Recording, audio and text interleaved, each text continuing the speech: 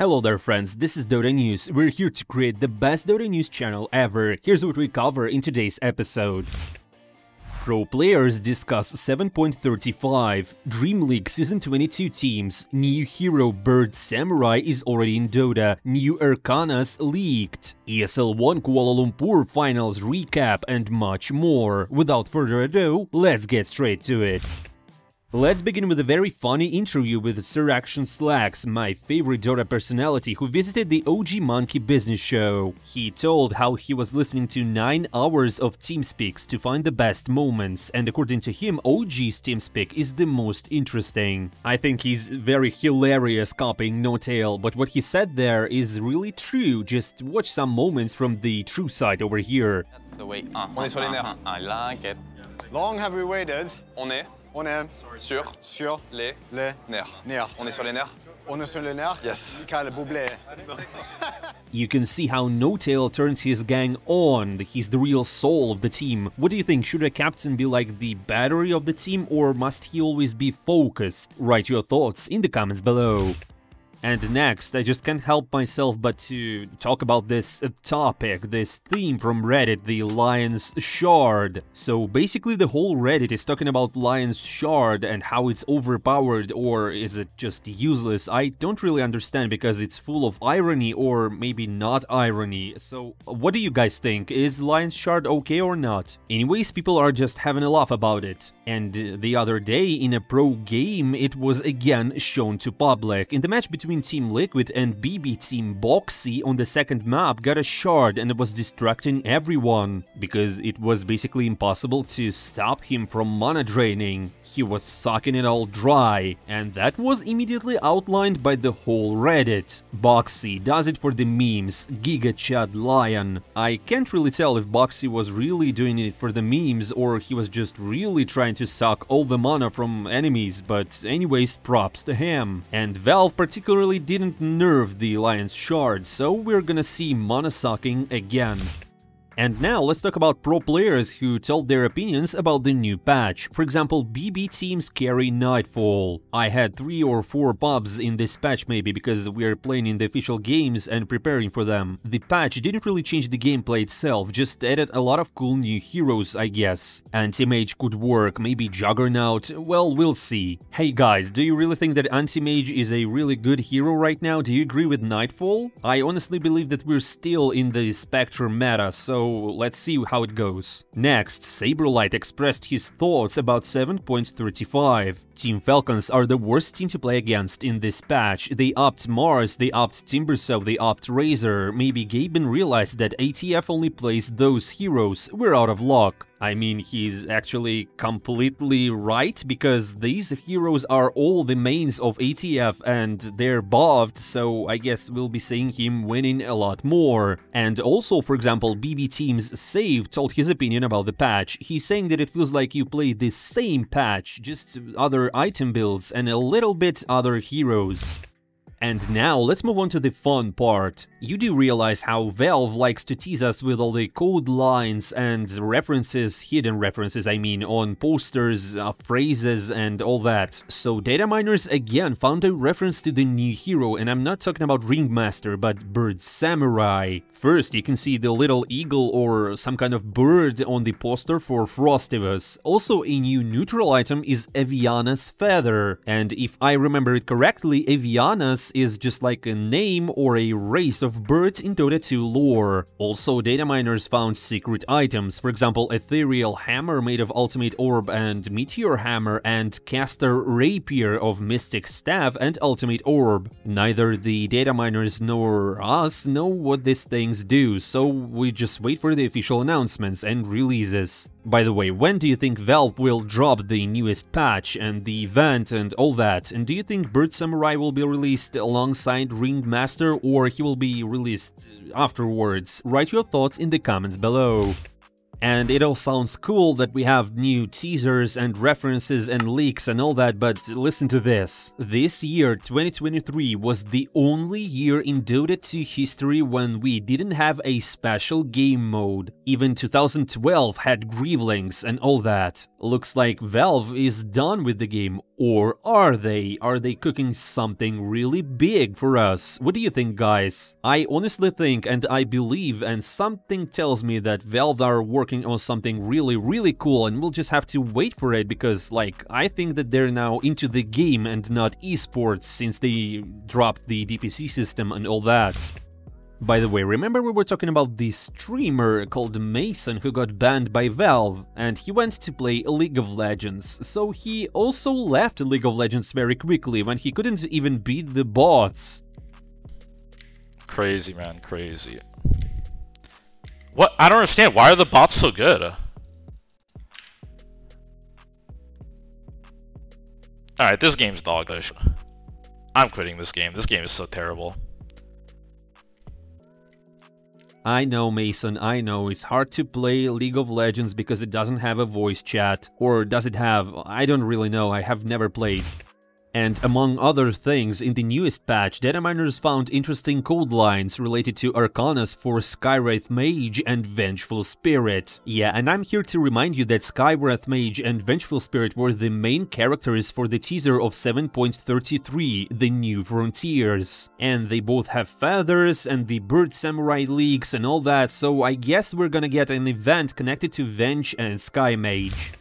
Also, we finally know the teams that have been invited to the DreamLeague Season 22. BB Team, Gaimin Gladiators, Azure Ray and Team Liquid. They are basically automatically invited because of the EPT ESL Pro Tour points. DreamLeague Season 22 will be held from the 25th of February to 10th of March. It's an online tournament that will be played with 16 teams, 12 of which will go to the tournament based on the results of open qualifiers. At stake 1 million dollars and 18,000 EPT points. And the latter are more important if you want to go to Riyadh Masters with the biggest prize pool of all. I just hope that Team Spirit will be finally back in action.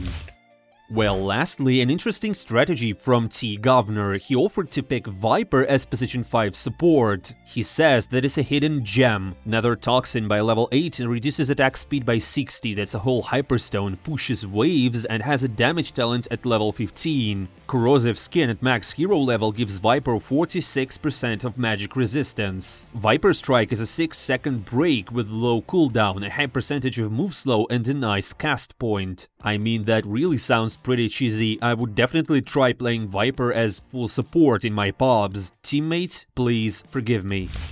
And now we move on to the last day of ESL 1 Kuala Lumpur. Falcons and Team Liquid met in the second stage of the lower bracket. Purely on paper, the match looked very interesting, and the teams have already met in the group stage, where Liquid had no chance and gave away two maps. Perhaps Team Liquid would have emphasized their past mistakes, or just adapted to the patch faster, and they were able to take revenge from their opponents. The first map started with a nice first blood for Saberlight, which will probably help him not to fall out of the game because he's developing a not so pleasant matchup into a Naga. He would really hate to see it from the Liquid side how Naga can come out at 30 minutes with 6 slots. But even First Blood doesn't save the situation on the lane, and Naga comes out just gigantic. Liquid Huskar takes the early Roshan and the Aegis, but they can't do anything with it because Naga is just farming too much. And in turn, Falcons find nice moves on cores and they take down Huskar a couple of times it was really hard for him to get back into the game.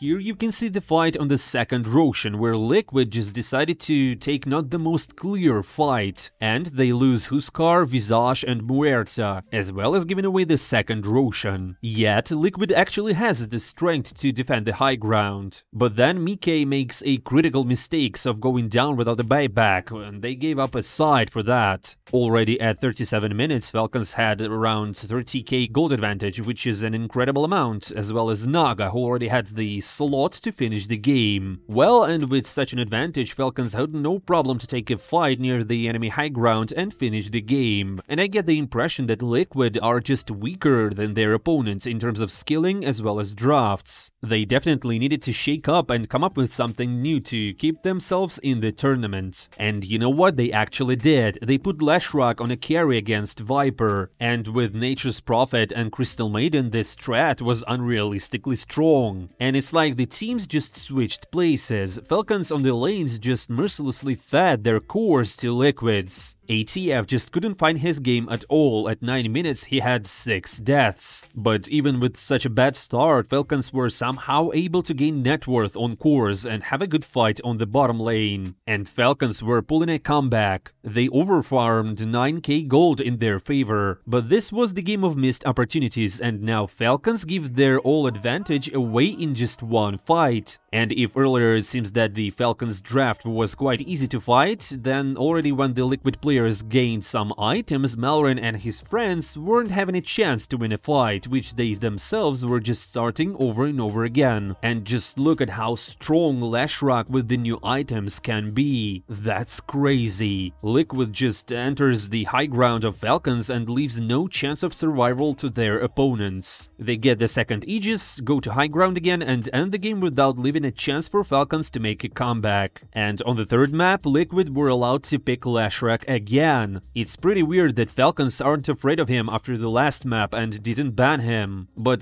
okay, this time there was no domination and too much power on Leshrac. Until 20 minutes the game consisted of teams either AFK farming or finding heroes on their own. The first full-fledged fight Falcons took with Aegis on Wraith King near T2 tower on mid lane at Liquid, but this time they're wiped by Leshrac and BS. And then Falcons players just fallen, even realizing that they're much weaker than their opponents in terms of gold and slots, they do not give up hope and they try to find enemy cores, but they just can't succeed. In another vague attempt to catch Leshrac, the team gives away a Rampage to Bloodseeker. It's not really clear what the opponents wanted from a Leshrac with the Bloodstone, but the plan clearly didn't go their way. And after all this chaos and pain, Liquid just go to the throne and finish the game.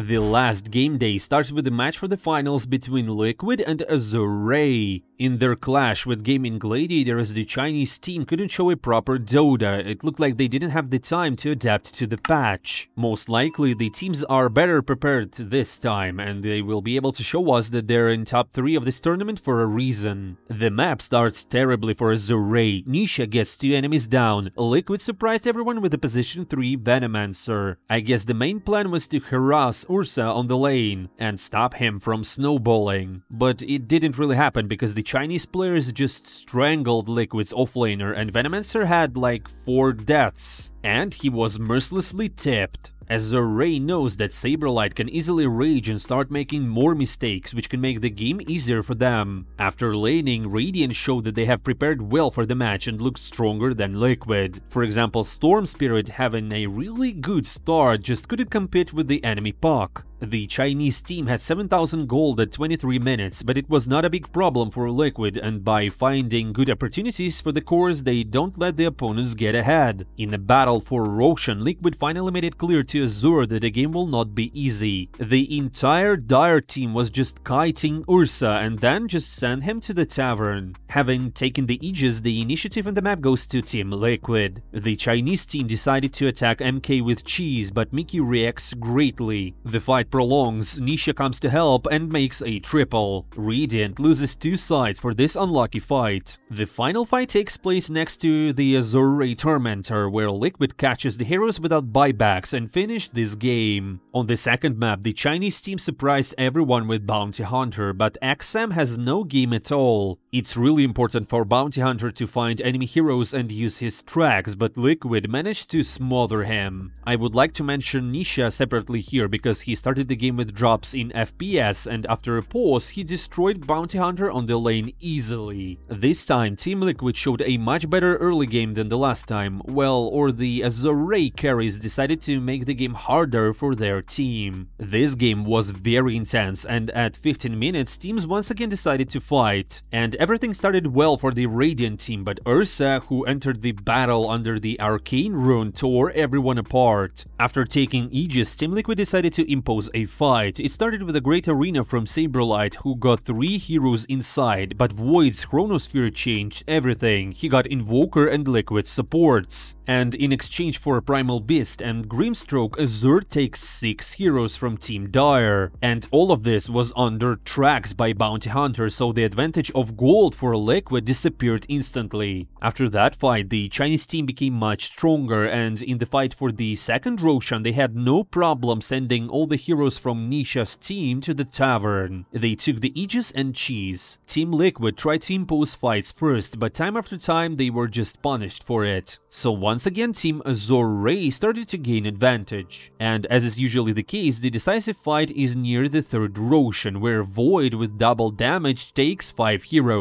Radiant takes Roshan, takes Refresher, and Liquid has very little chance to win this map. The last fight of the game starts with an initiation into Ursa, and in an ultra-prolonged brawl, the Chinese team still managed to crush their opponents and take the first map for themselves. Everything will be decided on the third map. The third map was very even, the offlaners of both teams were just poor. Supports played very actively, constantly pulling on the sides. It turned out that the third and the first positions of Liquid were very poor. Here just props to supports of Azure who just strangled the whole map. And Luna was all this time free farming and having received Aegis, the Chinese team already at 20 minutes decided to go on high ground and take the middle. Liquid could not oppose anything to the giant Lu and he went without any problems to break the next side. Another great fight happened at 26th minute where Liquid decided to attack Visage but XXS proved to be survivable enough and Luna did not leave a chance to the Dire team. Razor and Timber were without buybacks, although they respawned quickly, this didn't prevent Luna from breaking their throne in a few seconds. This way, Azure proceed to the finals and will meet Gaimin Gladiators again. But before the finals, let's just remember this one small thing. Dyrachyo from GG decided to trash talk. Just before the grand final started, he called their opponents Azure crap. Ooh, ooh, ooh, ooh, ooh, that sounds like a challenge. Let's see how the Chinese legends respond. The first map of the finale started with GG picking Alchemist for Dyrachyo, who destroyed them on that hero in the last match. And they decided to take Broodmother for Ace, a pretty cheesy pick. Although the hero's win rate at pubs leaves much to be desired, the new Bloodthorn strat will probably bring the hero back to the meta. Just look for yourself. And it starts very hard for the Chinese team. Most of their initiations go in favor of GG. Gladiators take Roshan and we see how the new Bloodthorn works. Ace makes unrealistic damage to Roshan on the 18th minute. And with a 15k gold advantage, GG just goes up to the high ground of Azure and breaks their two lanes. And it's all coming down to the fact that the Gladiators were just head and shoulders above the Chinese team, and this match will just end 3-0 in favor of Dyrachyo and his friends. Azure's last attempt to turn the game around came in the 27th minute, but it didn't really work out. Map 1, Gladiators win. The second map starts with the same scenario as the previous one, Quinn rolling his opponents around the map, helping turn passives for Slark. The only hope for the Azure was Senkyu, the player showed the game to which there were no questions. Thanks to his moves, the Chinese team managed not to fall out of the game so much. But when Gaimin Gladiators got an early Shiva for Primal Beast, it was over. The Chinese team just couldn't afford to take any fights. The new Shiva just is a really really cool replacement for Vanguard for some offlaners because it gives you bonus armor and HP regen. Yet so far we've only seen it on Timbersaw, Primal Beast and Centaur. Already at 20 minutes, Dyrachyo and his team were just crushing the Chinese guys under tier 4 towers. The advantage was 12k. Another map lost by Azure without any chance, the team shows no idea of Dota. Here Celery just baits and his teammates just bury everyone under the ground. 26 minutes, the Dire team comes to the enemy high ground and they demolish everyone. Thrown down. GG are one map short of $300,000 dollars the third map doesn't start off in the best way for gladiators because XM gets first blood and Quinn misses the first pack at mid. The game this time was shaping much better for the Chinese team than the past ones. This is basically due to the fact that Dyrachyo was very badly beaten on the lane, and even though Underlord got a lot of farm and he came incredibly overpowered, he couldn't make much of an impact on the game. It used to be that GG would pick heroes that had carry potential for ace if Anton had a bad lane lane, and offlaner could make it up for it. But now his hero is very dependent on auras, and whether or not his carry can fight without key items is hard for him to make his impact in fights. In the end, Underlord was just banked all over again, and Azure Ray finally managed to get a map advantage. The Chinese team takes Roshan, and the situation for Dyrachyo and his team becomes very difficult. The gladiators seem to have relaxed and started to make mistakes very often, but Azure on the contrary came to their senses.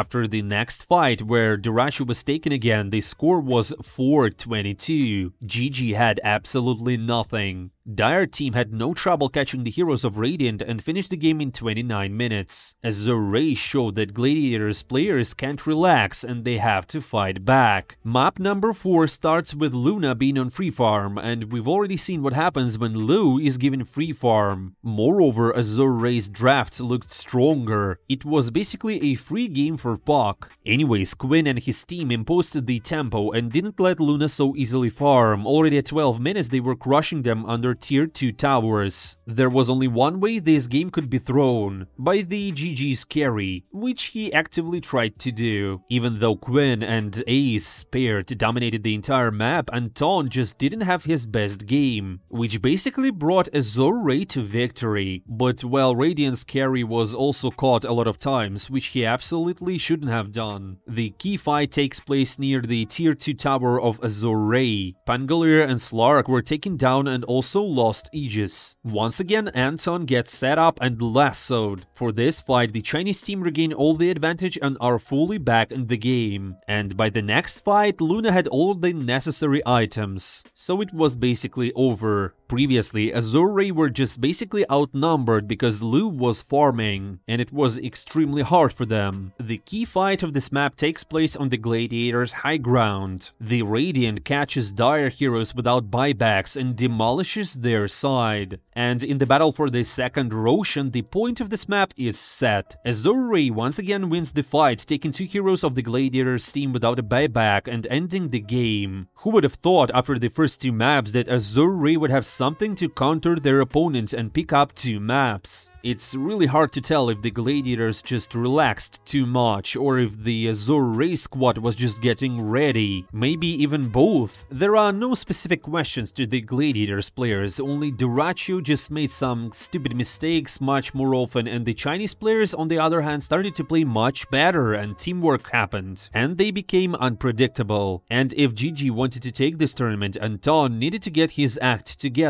The last map of the tournament didn't start in the best way for GG. Dire had quite a few strong laners and everyone took out their net worth. And basically Sinkyu did all to kite Dyrachyo and to make him suffer. Sinkyu was just playing the game of his life. And while his Naga was farming the map, the carry of Team Gladiators was just left without the game. And gradually, the map goes into the hands of the Chinese players. Radiant decides to pick up Roshan at 21 minutes. GG got the Aegis and they will have a much better chance of getting back into the game with it. Near their tier 2 tower, where there is no chronosphere yet, the Chinese team decided to fight and the end of the Aegis for Pango. The Dar players sent Ace and Quinn to the tavern, regaining their gold advantage. Naga, meanwhile, already has a lot of gold and is way ahead of opponent's carry on net worth. And she will be almost unbreakable given how much save was made for her. The Chinese team started to break the Gladiators' side, but Dyrachyo doesn't want to give up so easily. He places a very bad Chronosphere. OD saves Lu, and GG players decide to keep fighting. Unfortunately for Gladiators, Azure Ray sent 5 heroes of their team to Tavern without losing any single one. Anton is just really not having a good game once again. Here he again places a bad Chrono, setting up his own offlaner and midlaner. So here Azure Ray just complete their unrealistic comeback. They managed to take down the throne after all. In fact, the Chinese team showed some incredible morale. No one believed in their victory after they gave two maps away to the Gladiators without any chance. But they still managed to fight back against Quinn and his team. And they got their first tournament in the history of the org. Congratulations to Azure Ray on their victory.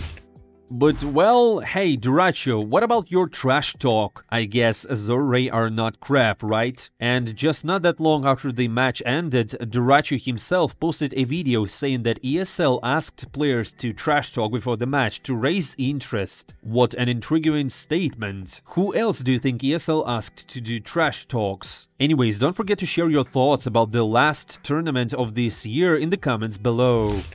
I believe that's all for today. Thank you for watching. Don't forget to leave your feedback in the comments below, because it's really important for me to improve by listening to you guys. Also, hit that subscribe button to follow the best Dota 2 news channel. I'm not saying goodbye for a long time. See you soon.